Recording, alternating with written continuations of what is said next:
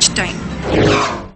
Well, we're now at the Welspun Energy office in Noida, and I'm joined by two very special experts. First up, on my left is Mr. Harshvardhan Rungta, who's a certified financial planner at Rungta Securities. And we also have Mr. Firoz Aziz, who's a director at Anand Rathi Private Wealth. Gentlemen, welcome. Thank you so much for being here.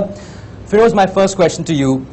Before we start talking investing and financial planning, tell me a little bit about the basic mistakes, the common pitfalls that people make usually when getting into investing. Now, when you speak about pitfalls and ground rules, there are quite a few ground rules which need to be taken care of before you start investing. Predominantly, I would like to abbreviate those ground, ground rules so that you can remember them because as human beings, we tend to remember only 1% of what we hear. So I'll abbreviate it for you. I call it the smart way of investing. So I'll tell you what each alphabet stands for very briefly. Segregate your investments and your other insurance needs. This is the common, most common mistake when people start investing. So that's called uh, segregating them. If you segregate those investments, you will almost end up saving your first year's premium in the first five years of you paying. So segregate your investments. Don't try to meet two objectives with one rupee invested. That's the most important thing. The second thing, which is M, M, stands for measuring your risks. People are so focused on return that they don't forget uh, measuring risks. Because return is going to be dependent on external factor. Risk is the only variable which you can choose to take, right? The return is going to be market dependent. The third point, which is called asset allocation, right? The, the A stands for asset allocation. People end up spending maximum time on seeing what security to buy, which stock to buy, which mutual fund to buy. Forgetting that asset allocation, which asset to buy, how much, that's very important because that will dictate 90% of your returns in the future, not what you buy how much asset of which quantity you buy. Then R stands for, uh, again a very important thing, when people try to do their financial planning, they end up confusing between responsibilities and goals. If you ask him, what do you want to save for an individual? He says, I want to save for my kids' education, for my first home. All those are responsibilities, not your goals. Responsibilities are a subset of goals. Goals have to be more dream-oriented. And the last bit, which is T, T stands for tax efficiency like we've always heard, there's no free lunch. This is the only free lunch, tax efficiency. You can't miss this one. Harsh, what are your uh, views on this? What, uh, what is your take on the common pitfalls? Well, uh, since we've already, uh, he's taken the technical aspects of the investments, I'd like to take a little bit on the behavioral part of, uh, you know, your aspects when you start investing. Since it's a very young crowd, uh, you'd be very keen to know how do you get started, what are the things that you should be very careful about. So let me take on the behavioral part. The first thing that I would advise is that you need to be really, you know, wary about a one-size-fits-all syndrome. We're talking about personal finance. Remember, the word is personal finance.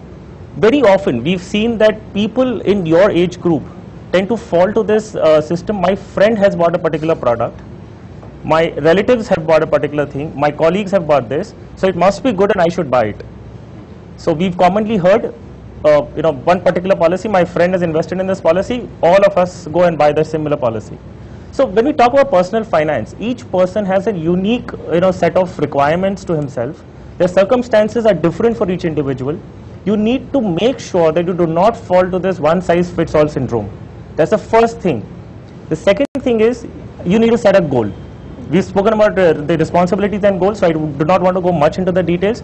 But I'm only going to try and give you an example. You leave your house to go somewhere, and you leave your house to come to office. There is a difference. You need to foresee, you need to identify what do you want to do out of the savings that you're, uh, the, the investments that you're going to make. So there has to be a set of goals. You need to really and clearly know wh- what are you going to save for. It could be as simple as a wealth creation. I'm not saying you need to have something specifically for a particular cause, but there has to be some goal and some timeline to it. Firoz, you know, these guys are young professionals. They are just newly started investing. Some might, might have just started or some have been investing for a few years. Why should they invest now? Why can't, th- these are the heydays, why can't we just go out, party, watch a lot of movies, travel a lot and investing, fine, I'll do it when I reach 40 or later on. You know, why now? Very valid question. Every, everybody actually uh, tries to defer uh, their investment plan and their personal finance, like, like uh, Harsh rightly men- mentioned, that goal setting is very critical. And doing it sooner is so important. Let me take an example maybe to tell you what is the impact of starting early. okay, uh, not even getting to 40s, if you defer your investment by five years, what is going to happen to your maturity value? Let's assume 10,000 rupees per month if somebody invests on a monthly basis for the next 25 years. His 10,000 rupees, if at, it's grown at the rate of 13%, will become 2.2 crores. But if he said, instead of starting five years later, I'll start today and have 30 years to invest, the 2.2 crores will become 4.5 crores. By deferring it for five years, you have reduced your maturity value by half. So every year you are actually losing out on, on substantial portions of your maturity value. So starting early, not if 40 is really late, I would say the day, the day you start working, you should start saving. I know, of course, uh, you would want to spend the money because you've been waiting to start earning. But yeah, it's very difficult. I know it's easier said than done, but I think you should try and uh, do that. So that's a large impact on maturity value. You can't Okay. let go of it. Okay, interesting. Harsha, I want to tell me a little bit about um, asset allocation, diversification. Now, generally there is a trend. Again, young professionals we're working very hard. We put in 12, 12, 14, 14 hour days. At the end of the day, you just want to go home and rest. You might not have time to, uh, you know, look at your investments so much. So, just a couple of points. How can they go about uh, getting a good uh, diversification, a good asset allocation? Uh, well, the first thing when you begin, you need to, as we've already spoken about asset allocation, we've spoken about risk profiling. You understand, you, you consult a professional who could help you, uh, you know, decide what is your risk profile and how much would you go, how much would you put into equities, how much into debt, how much into uh, precious metals, how much into real estate. Okay, so the first thing is you identify that class, asset class, and a percentage allocation to that particular asset class. I'll give you an example. Thumb rules, uh, though we don't believe very, uh, you know, aggressively into thumb rules, but just for the sake of a general audience, whatever is your age, that much money goes into debt. So if you are 30 years of age, 30% of your investable surplus should go into debt. Okay, now within debt, what products do you use? There are FDs, there are debt mutual funds, there are bonds, all those fit under debt segment. Now you have equities. We spoke about equities, a very hot topic at all times. All people who even do not invest into equities track the stock markets. Okay, so so what about equities? You have options to invest directly into equities. You have an option if you do not understand, you do not have the time to research on uh, individual companies. You choose the mutual fund route.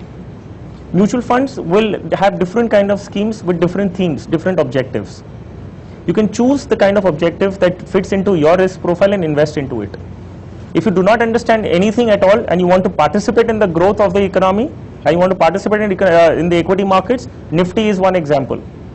You invest into a Nifty, you get a basket of 50 stocks to start with, and you and if it's easy to track as well. Every day at the end of the day, I mean, you can just simply look at what the Nifty has performed, and you will know whether your fund has uh, gone up or gone down.